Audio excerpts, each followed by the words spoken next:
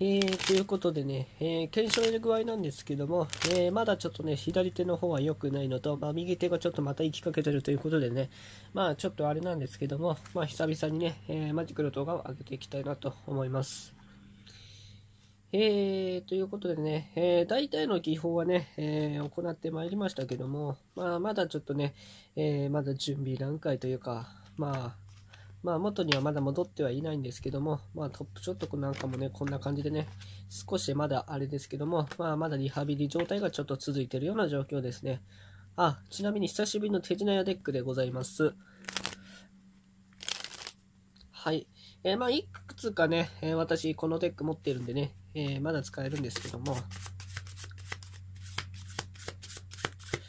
はい。えー、じゃあこのね、えー、セジネレックを使って今回はちょっとね、えー、マジックの、まあ、ちょっと解説はないんですけども、えー、やっていこうかなと思いますので、えー、最後までよろしくお願いいたします。トランプは全部で52枚ということで、ジョーカーはあらかじめね、外してますんで、えー、52枚ということでね、やっていきましょう。一応ね、見ていただきますと、えー、トランプは全て一応バラバラです。で、まあ、こっからね、1枚カードを選んで、えー、覚えてもらうっていうのが、まあ、普通のマジックですね。まあ、実際にちょっとやってみたいと思うんですけども、例えばこれが選ばれたとします。絵札ですね。これ今画面に映ってるんでね、もうダイヤの12って見せ見えてますけども、まあそこはちょっと気にせずに行きたいなと思います。まあ実際お客さんに見せるときはね、これダイヤの12とかそれは一切わかりませんからね。はい、これはカメラワークトリックってってね、えー、そういうのがあるんですけども、これをね、えー、ダイヤの12なんですけども、これをね、中にこうしまい込んでしまいますね。で、この時点では、えー、あの、私は選んだカードは一応知らない段階に、まあ、あるというところを、えー、一応皆さんね、えー、頭にこう入れていただければなと思います。では、カードをですね、こんな感じで、軽くこんな感じで混ぜていきます。はい。で、カードは一体どこに消えてしまったんだというところでね、ね、えー、気になる方も当然いらっしゃるんじゃないかなと思います。えー、こんな感じなんですけども、3分割にこう分けるんですね。はい、こんな感じで3分割に分けて、これでね、えー、カードを探しに行きます。うーん。はい、えー、わかりました、えー、選んだカードなんですけども、上からそうですね、大体この辺りにいるんではないかなと思うんですよね。えー、ちなみに1枚ずれてればハートの1だったんですけども、もしハートのエースじゃなければ、そう、これ隣のカードがそう、先ほど選んでいただいたダイヤの12のカードですね。はい、ということでね、えー、まだちょっとね、えー、リハビリ状態なんでね、まだちょっと雑さが残ってしまったかなっていう感じはありますけどね。まあ私そこまでね、マジックがね、えー、うまいという自信はね、えー、ないですね。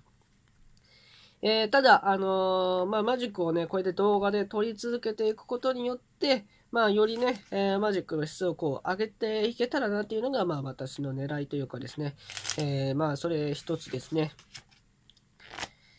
まあやっぱり動画でね、えー、マジック撮るってのは難しいことなんですよね。えー、結構マジックをこう、たしなんでる方ってのは結構いてね、えー、まあ、あの、うまいとか、下手とかね、えー、言ってくる、まあ、冗談じゃないのかとかね、えー、ことをこう言ってくるね、えー、方もいるんですけども、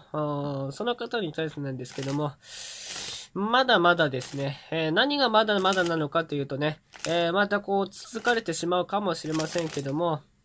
えー、同じね、えー、マジックをやってる方でね、えー、まあ、あの、話を聞くとですね、大概のマジシャンっていうのは、あの、お互いに対して上手いとか下手とかっていうのは言い合わないんですね。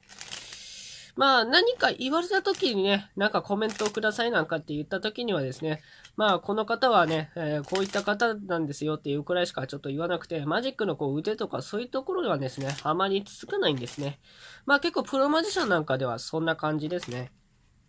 で、まあ私はね、えー、まだプロとはね、まだちょっとかけ離れてるというかですね、まあプロとアマチュアの狭間にいるようなところかとは思うんですけども、えー、ただ、あの、プロマジシャンとは、まあアマチュアマジシャンの大きな違いとしては、まあそこにあるのかなと。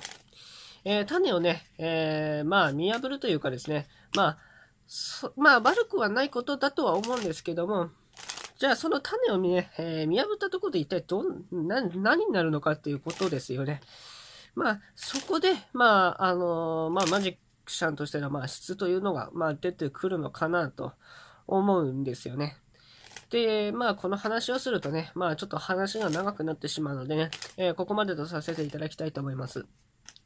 で、えー、ここ最近なんですけども、えー、YouTube 上にですね、えー、車椅子のマジシャンが、えー、なんと YouTube デビューしたということでね、えお届けさせていただきます。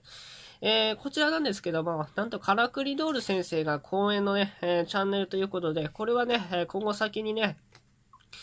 え伸びていくチャンネルなんじゃないかなと思います。えー、私がチャンネル登録した時には、まあ、小山中の小山でございまして、私の登録者数よりも少なかったんですね。えー、10人に満たなかったんですよ。多分おそらく今の時点で大体ね、20人ぐらいはいるのかなと思ってますね。えー、私がツイッター上で拡散したことによって、まあ、一応チャンネルが伸びてくれればなということでね、えー、その方にもですね、まあ、許可をいただいて、まあ、ツイッターの拡散もして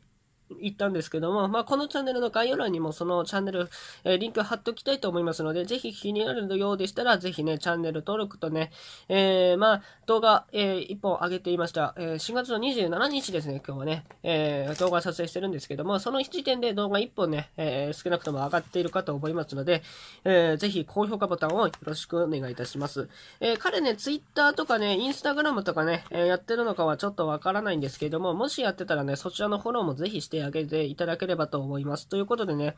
えー、そのマジシャンもね、えー、ぜひ私もね、えー、後ろからこう支えていけたらなというふうに思っております。まあ当然ね、えー、私なんかよりもね、えー、マジックの腕はね、えー、全然上手いと思いますね。えー、叶わないかなとは思いますけども、まあまた新たなね、えー、YouTube 上に、えー、マジシャンが現れたということだけを今回ね、お届けさせていただきます。ということで最後までご視聴ありがとうございました。